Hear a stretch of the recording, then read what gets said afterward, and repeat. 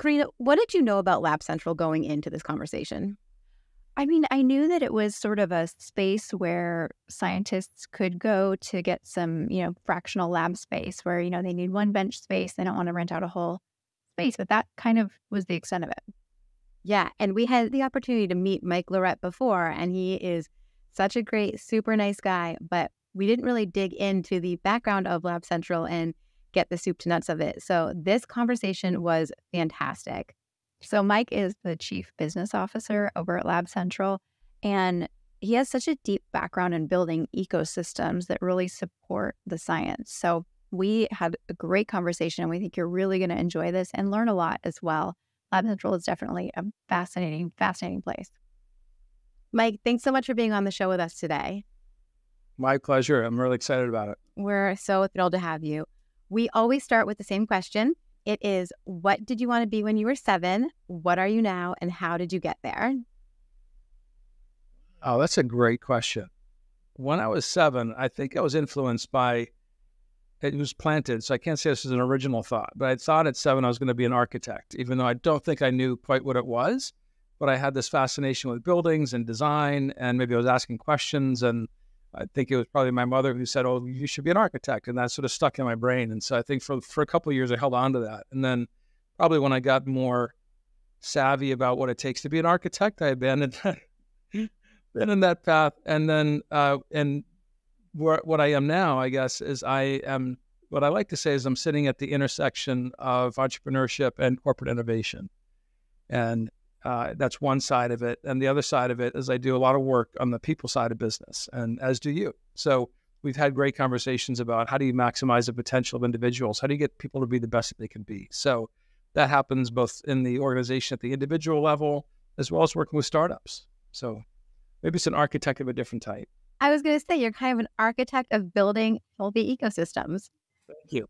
I'm going to have to write that down. I'm glad this is being recorded. Yeah, you can change your LinkedIn profile. so, how did you apply that to the biotech sector and how did you get there? So, a couple of hops got me here. Actually, I switched on to that that intersection that I spoke of about 10 years ago, and I joined a friend of mine who was running a global accelerator at the time called Mass Challenge. And that was a, that is a not for profit that started in 2010.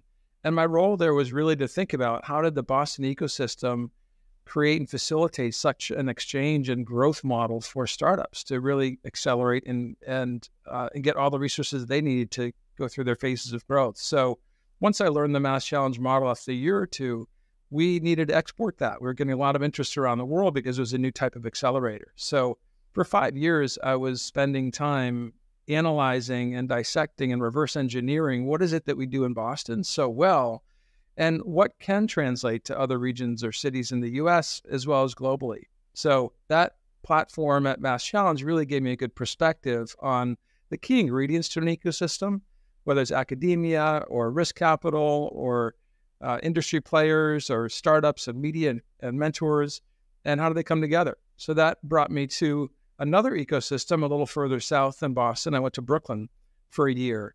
And it was like Mass Challenge on steroids in a way, in that we, you know, we had great space at Mass Challenge. New Lab in Brooklyn has an 85,000 square foot facility, 90 foot ceilings, 150 startups, and they're doing crazy things with electric motorcycles and 3D printing and prototyping and hard tech.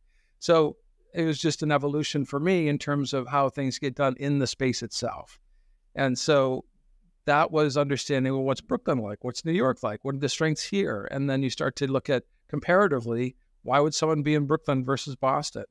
Uh, and more broadly speaking, why would someone, you know, accelerate in Austin, Texas versus Boston? So, uh, I that brought me to COVID, and actually, frankly, COVID brought me back home to Boston, and and through my Mass Challenge connections, got in touch with Johannes and Lab Central, which was an affiliation of Mass Challenge in the early days, and really landed here in biotech right when biotech landed on the rest of the planet with COVID. And so was a really great place to, to go headfirst into biotech and see what I could do to apply those same principles that I was driving at both Mass Challenge and New Lab to see how it applies here. And how do we think about accelerating the model or leveraging the ecosystem here at Lab Central? Mike, can you break down for me a little bit of like what a typical day or a week looks like, I can't imagine how many things you're pulled into. And if you can't, that's fine. I'm just curious how you do all the things and what it looks like. Yeah, well, I think the first thing I'd say is Lab Central is experiencing tremendous success right now, even though the market is and has been challenging. Since I got here, uh, and I mentioned COVID, so you sort of know the timestamp on that. I joined in March 2020. We were about 40 people. We're 90 people now, and we grew from three sites to six sites. And so we've been on a growth curve, and I had more responsibilities back when I started because we were a leaner team. We've since hired into senior leadership roles with our people strategy team. And then we can talk if you want more in depth about Lab Central Ignite. But that was born around when, you know, six months after I started, we pitched that to the board, and that's been and, and running and, and achieving amazing success. So I guess the short answer is my scope is narrowed a little bit. So I do own two parts of the organization. It's our partnerships. So we have a lot of great partners, both in pharma, if you think about Takeda and Bayer and J and J and Roche and others, and then we have a number of equipment partners, Thermo Fisher, Waters, all these folks you, you know and work with as well. So I, I manage those relationships as well as what we call a resident success program. And that's something that we launched a couple of years ago where beyond just the hardware and the labs themselves, there's a layer of programming and networking and opportunities where you look at last night, we did a VC showcase and we had 15 VCs in the room listening to five pitches from our startup. So that was my day. Yet, if I start from 24 hours ago, yesterday I was at another facility and our amazing team was delivering that VC showcase. Uh, got up this morning. I think I did some performance reviews. Everyone's got to focus on the people. And so we're no different than that, really leading heavily. So I had a couple performance reviews today, wearing that leadership hat. Uh, and then we have an amazing marketing and branding communications team. So we just launched our new website. In fact, there's a little tie in here. I'm not sure how we landed here. It feels like serendipity, but if you look at the front page of our website, it says building biotech's better. And that's an extension of this podcast. So I don't know if we should be talking more about brand infringement there or brand uh, additive value to a brand statement, but we're doing something here along the same lines. Definitely additive value. It's additive value. Thank you. So I spent uh, a couple hours today thinking about how we we're thinking about podcasts, how we're thinking about extending our brand into the community, because as you know, the landscape has gotten a little more competitive. So I generally split my day between marketing, branding, communications discussions, along with resident success of partnership discussions, along with general leadership and growth of the firm to match the scale that I talked about and are doubling our headcount and really expanding in, in great and new ways. That's fantastic. Thank you. What was something that sort of defined your passion for building biotechs? Um, since we're on the subject of building biotechs. So, at the end of the day, what drives me across the whole 10 years is whenever you spend time with an entrepreneur who's put their passion, their ideas, their savings into their venture, it becomes incredibly human. And I think the more I started to talk to founders in biotech, the more you realize that 95%, maybe even 100%, start these companies because of some personal relationship to the thing that they're, they're tackling. So when you peel off the layers, it's either their mother had breast cancer eh, or their son has a, a rare disease and is heading towards blindness if he doesn't do something. And so when you start to get to that level of detail, it's very different than someone coming up with the next grocery delivery service app, just maybe incrementally better than DoorDash. I mean, those are not discounting the value of improvements and innovations in tech space.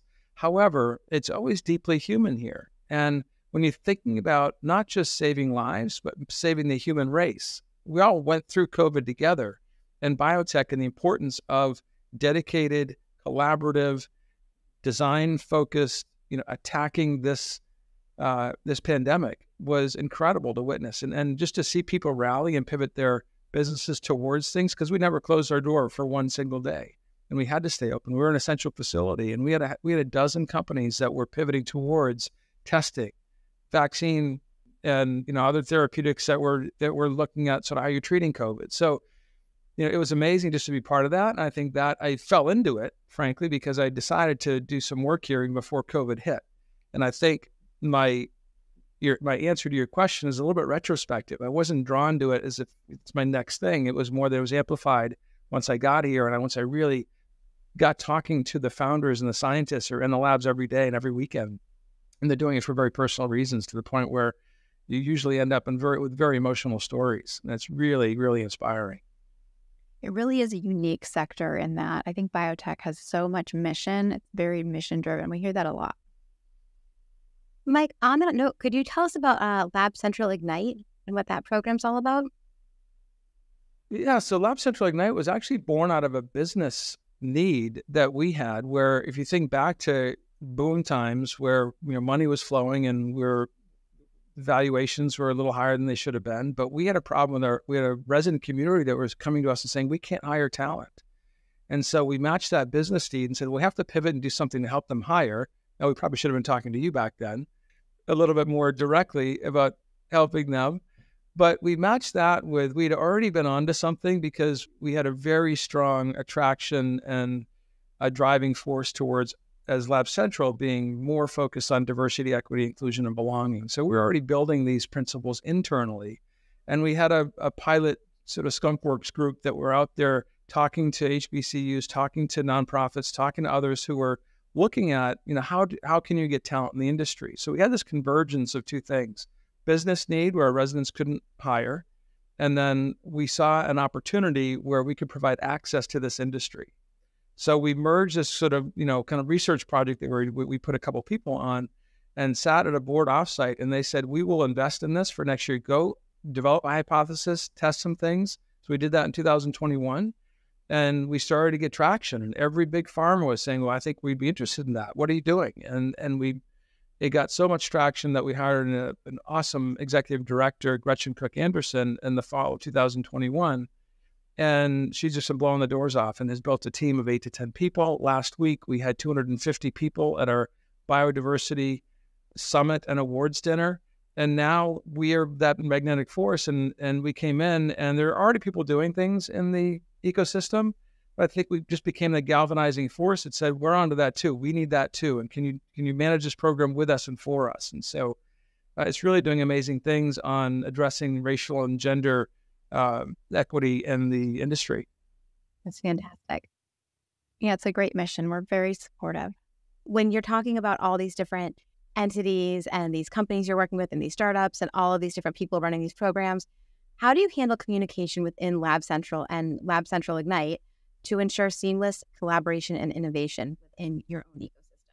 So, within our ecosystem, not necessarily within Lab Central. Yeah, like how do you disseminate information so that everyone's on the same page? Yeah. So I think, well, starting with internal team communications, I think we do, uh, we always try to do a good job. We live by some guiding principles, some core values, and one of them is transparency. And this year, we really lean into that. And we started the year with a with a kickoff in January. We had an in-person all-team meeting, and we talked about compensation transparency and we share salary ranges for our levels and we share bonus percentages for all leaders in the organization. So we really wanted to be open and that was the the most visible explicit way to be open as an organization is to put ourselves out there and say this is what we believe and we think that everyone should know this information. And so we led with that and that is one of our core values. And so oftentimes we're you know, we're sharing information with each other. We just had an all team meeting yesterday. We do them once a month, an all team virtual meeting once a month. And I was out there online sharing our update from our board meeting that we had just had the week before, showed a few slides from the board meeting. So I think transparency is really the pillar for our, the center pole of sort of communications. We always uh, aim for that. We have our missteps. We're like any organization. There's some confusion, someone doing something that didn't, someone wasn't informed about we have meetings every Monday as a leadership team. As an exec team, we religiously sort of get together at 10 o'clock every Monday, talk about things. That's at the, the executive level. And then we have a broader leadership team same day. So I feel like we are updating and discussing critical topics that come up each week. We're hyper focused on our occupancy of our sites, the value we're providing our residents, uh, the things that are coming up for the team. We have an amazing DEIB committee and they'll raise issues for us to talk about. So I feel like we do a lot of talking in person, which I think is helpful. Sometimes we look around and there are, a lot of meetings internally, but between our meetings, our our all teams that I talked about, both virtually and in person, we've got this great little newsletter that our someone on our team produces every week called the Orange Zest. You know, Lab Central loves orange.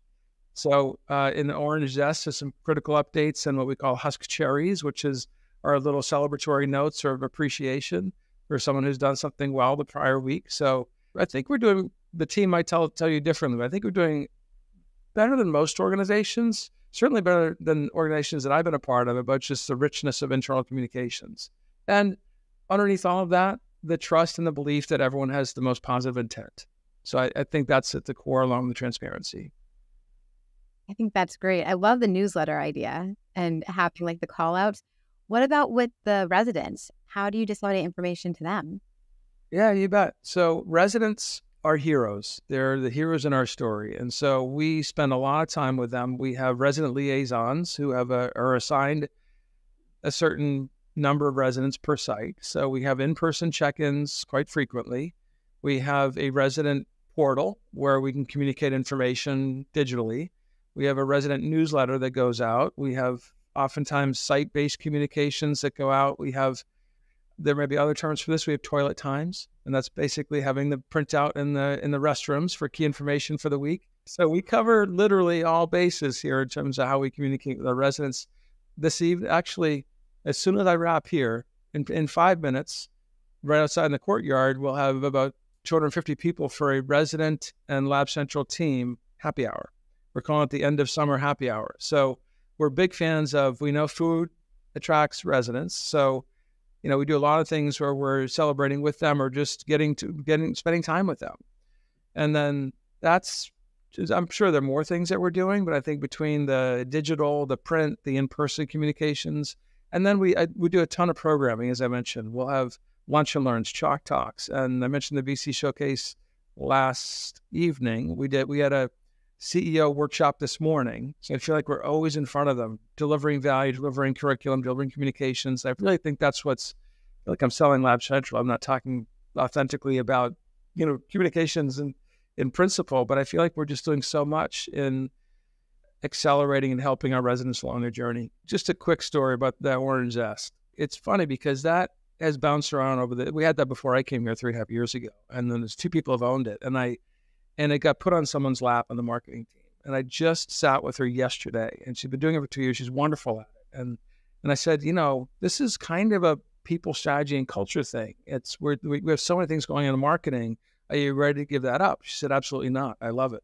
So I think so. I've got one person who does that, and so so she does. Uh, Jules McCoy. She does a fair amount of internal communications along with uh, Orange Zest, and we have it's responsibilities of a lot of our site team members. So you have one person doing the toilet times. We have another person cranking out newsletters. We have another person running the curriculum. So I think it's a percentage of time that if I added it all up, the percentage might make up a full time role across the entire organization. I wouldn't say it's more than that, but I think we're streamlined with a ton of processes and mechanisms to get the word out.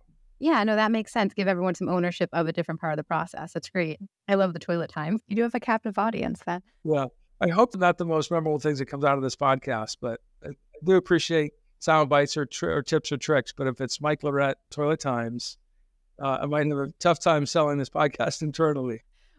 Very easy time. So, Mike, at the beginning, you sort of mentioned that part of your job was to understand the key elements that make a great ecosystem. Can you share some of that insight, you know, between um, working in Boston and then down in uh, in New York area in Brooklyn, and then you know globally? What do you think are those key elements? Yeah, I think there are two levels of answers to this. And I don't know if you've done work with MIT, but when I was at Mass Challenge, we had a great collaboration with the MIT REAP program, and so that's that's their regional entrepreneurship accelerator program. And so MIT has their own ecosystem model, which is great. It's nothing new under the sun necessarily, but they just have a, great framework. And we use the same thing at Mass Challenge. So fundamentally, there are really five or six things that have to be in line, or you have to have strength in several of these for your ecosystem to really support entrepreneurs, startups, and whether it's biotech or others. But you have to have strong government support. And that plays out differently in different regions and uh, in different countries. If you have government support in the UK and London, it might not be as favorable as getting uh, government support in you know in Australia, and so understanding the perception of government support is not is you can't just say oh you need government supports, but government support is one. Um, universities for sure Uh, they're cranking out ideas and tech transfer and, and, entrepreneurs and startups, so universities. You have to have a, a corporate uh, industry play. So you have to have, you know, people who would inve- invest or, or buy these products or collaborate with the entrepreneurs. So industry in our world, of course, as I mentioned, pharmas and equipment providers and a ton of service providers coming into the market with CDMOs and CROs. Uh, you have to have a density of entrepreneurs. And that really means you have to have like a livable city and you have to have easy transportation as to cost of living has to be there.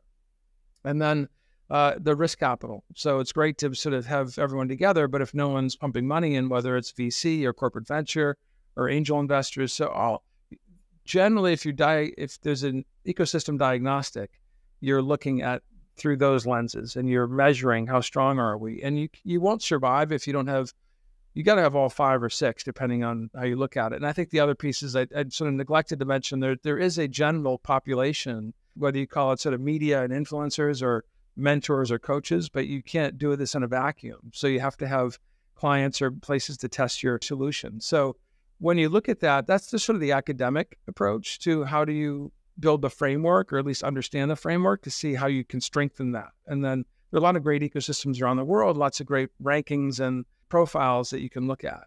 The unofficial, unacademic way, when you think about if you were going to launch an ecosystem, I we have found, I think this happened with, I know it happened with Lab Central, happened with Mass Challenge. You need a celebrity entrepreneur. Like you, if we're saying, you know, for opening up somewhere we've never, you've never been a second city somewhere, but you got to have someone who people look up to, who when they call you, you're you're going to pick up the phone. And for us in both organizations, Mass Challenge, was Desh Deshpande. Desh is an amazing, successful entrepreneur, uh, the kindest man you'll ever meet, very successful, very smart. And he's the guy that would make asks and you would do what he asked. And that's sort of the, so the, the celebrity, the successful celebrity entrepreneur, and not celebrity in the fame sense as much as like they're successful and people respect them. You have to have an enlightened government. And for this industry in this, where we're sitting right now, and the you know the pledge that Deval Patrick made way back you know more than 10 years ago to invest a billion dollars in this industry was so prescient in terms of what he was starting at the time and what then fell afterwards. Uh, I don't know if it was prescient or if it was just you know right timing. It was all the above, but he was also a big supporter of Mass Challenge. So does your enlightened government and or champion in the government to say to take the risk and say I'm betting on this. So you got to have that, and you have to have the corporates that will write the checks. And whether that's a Microsoft in the tech play or it's a J and J, you know, put up the first corporate money, and Novartis put up early money as well here at Lab Central. You have to have an enlightened industry partner so they realize, okay, this is legit. We not only have and for Lab Central, you you may know we got a nice uh, fat grant from the MLSC, Massachusetts Life Science Center, after which they said it was the best investment they ever made. So government, enlightened or uh, enlightened sort of government officials or smart money, uh, the celebrity or successful, respected entrepreneur, and then the corporate players who will get on the bandwagon and, and call their peers and say, you've got to get behind this thing. Could you touch on some of the obstacles that you faced while creating some of these collaborations within the biotech industry? Yeah, I think one of the key obstacles, particularly when you're bring when you're talking with partners, you know, there's a two or three types of partners, and some partners have been have know how to do this, and they have a they have a good external innovation team, and they realize that there's a bit of a long game here, and you have to invest and be a genuine member of the ecosystem before you start to reap the rewards. And those are usually the best partners because they'll then have a, dedicated person to engage with us, or at least an understanding how to engage if they can't dedicate a, a full time person. The challenge with sponsors that don't quite have that strategy and are measured more by what return will I get after 12 months. I'll pull out this amount of money to pilot some things, and if it doesn't work, I'm going to bail. And for us, we say you're you have to look at this in a two or three year runway to reap the rewards in this industry or in any industry, but in this industry, you have to get that. I think the pharmas and the equipment providers get that and the service providers, but we still see it we still see people, you know, looking for the business. Now we always have to defend our return on investment to all of our sponsors, but I think you either get it, and so you're coming in with a long view, or you don't get it. You're being measured and pressured to get a return on the money you're putting up before you can actually really, really reap the rewards. I think that's probably the the number one. I think the second one is I think there's a misunderstanding or there are myths about entrepreneurs. And we sort of view them as these mythical creatures that they're special, they're unique, and and I don't know, you know, they just want to take big risks and you know they just want to move fast all the time. And it's amazing when you put people in the same room and you demystify it. And I've done that a lot where we have whether it's corporations or and entrepreneurs in the same room, or we just have to break it down and break down those perceptions. And I think our the sometimes partners want to go in and have uh, and you know and build relationships with the entrepreneurs that may take time. And you know the biggest joke is that we think corporates measure their cal- measure, measure their time by calendars and entrepreneurs measure their time by a watch and there's just a disconnect. And so sometimes our entrepreneurs are like, well, they didn't get back to me for two weeks. And for the partners, they think, well, that's normal. Two weeks is fast. They haven't even talked to my manager about this yet. So I think getting the expectations about how to interact with our founders, with our startups, and really matching the pace of decision making. And a lot of times, our founders or entrepreneurs would rather get a fast no than a slow maybe. And I think coaching our partners to be able to do that is difficult. That's a that's a big challenge as well. The other, so the last challenge, just because I'm experiencing this now that we're post COVID, now they're cranking out events all the time.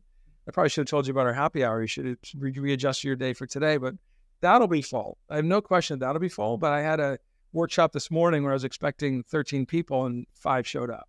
It, that's our challenge. That's not a challenge of the industry, the ecosystem, but right now it is hard to stand out with the competing needs of our resident companies. We want to deliver value. We're putting gold curriculum out there for them, but they're busy. And how do we get someone out of the lab to actually come and listen to this great presentation on, you know, path to IND, and which is something that, that would benefit them. But I think really understanding the right engagement model so that we can continue to deliver value for our residents is paramount. And we can't complain that they're not coming because they got to work in their business. So that's a challenge for us to figure out is how do we strike the right cadence of meaningful events, recognizing their time, fun events, and finding some blend in there.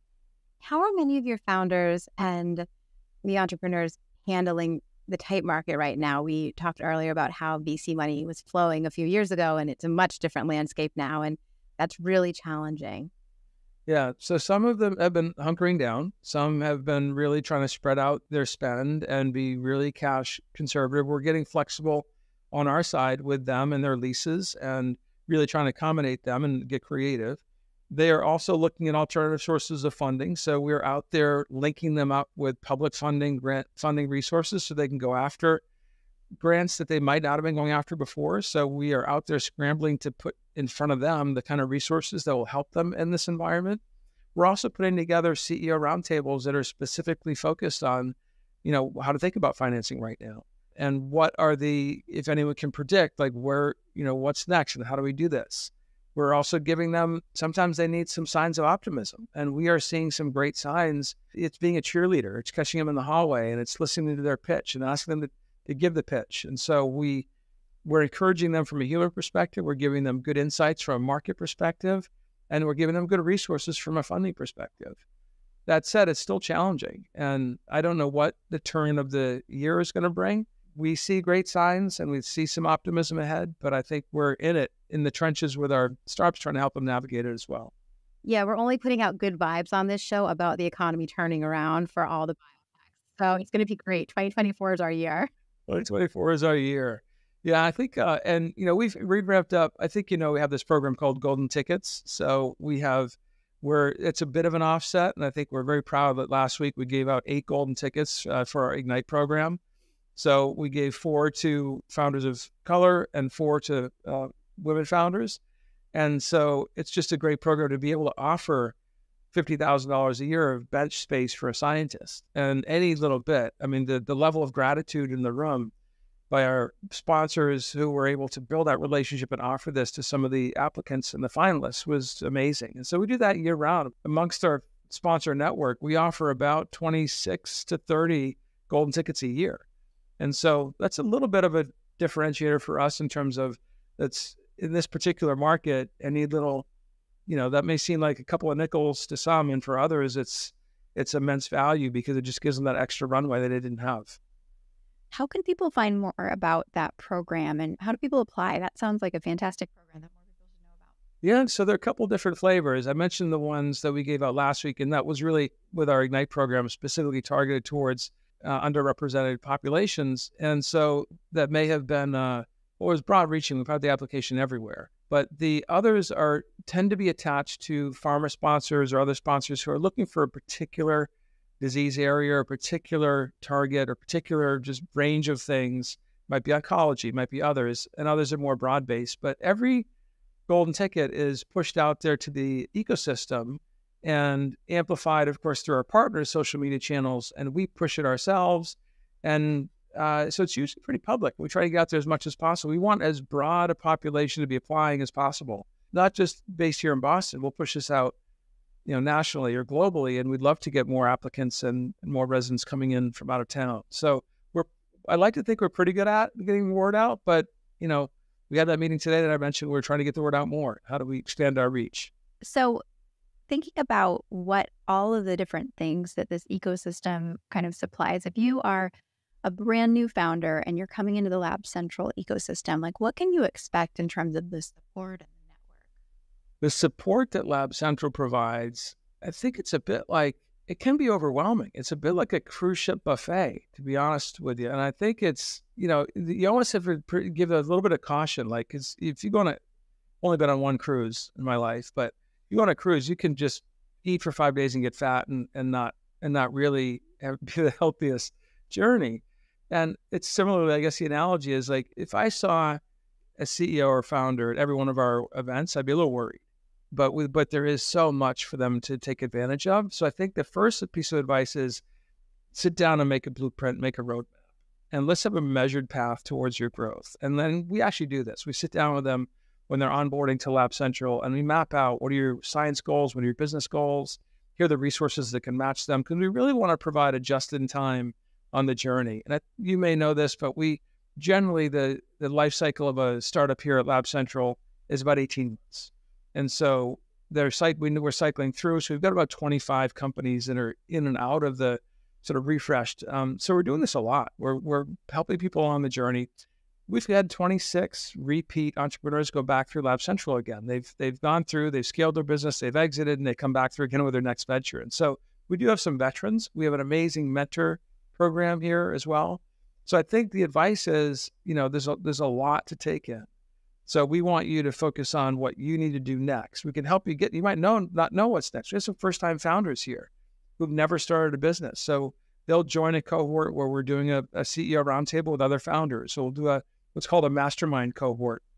We'll bring in an outside content provider and really kind of it's for first time founders. And how do we sort of go this together as a cohort? So I think they can expect number one to be operational day one so, you know, we can focus on the, we focus on the operation so that they can focus on their science. So, table stakes, you can be operational. You can be in the lab day one.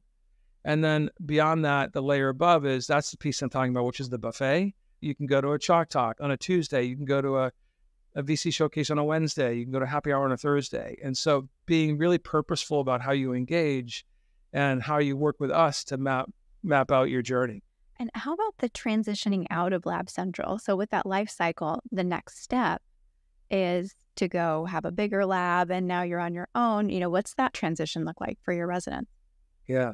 The transition out of Lab Central is always a fascinating one. They, even though they've only been here 18 months, I think we spoil them a little bit. I'll give you an example. We have a, a purchasing platform and it's called the Stork. And just because we have that purchasing power, we can negotiate discounts. We can make it easy. Sometimes startups don't have the credit to be able to make big purchases. And so we do that. I think people coming off that is like weaning them off of the system that they become so dependent on. So they, they're often asking us, hey, can I still buy things through you? And so helping them negotiate or navigate that world of being on your own from, you know, how do you come off of that purchasing and how do you establish and get good banking relationships or other purchasing relationships? Look at the look at the vendors you bought from. And we try to help from that perspective. We have great relationships with all of the real estate brokers in town.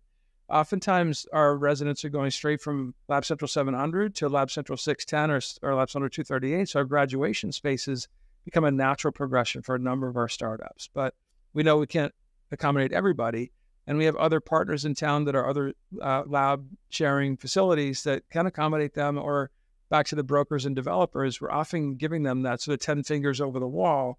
And we maintain great relationships and we do alumni networking opportunities and come and talk about this. We'll bring in real estate experts and do a session with those who we know are six months out from leaving or 12 months out.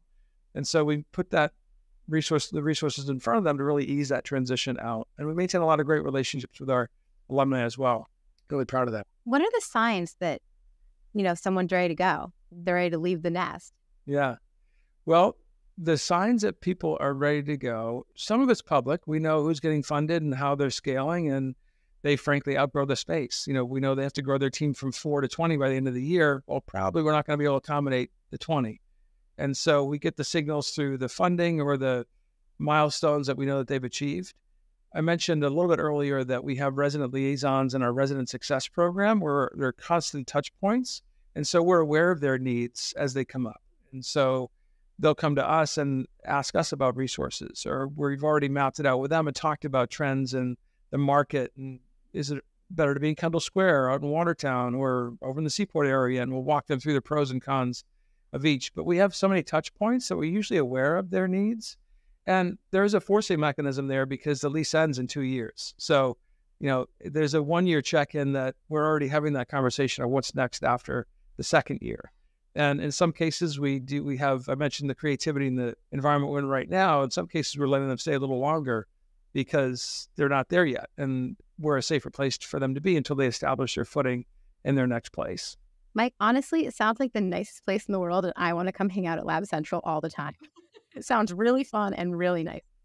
You're welcome. I haven't even talked to you about the parties that we throw up. So this is, you know, I, uh, we're talking a lot about the science and the operations, but I had to fill out my size, my clothing size for our Halloween costumes already for this year.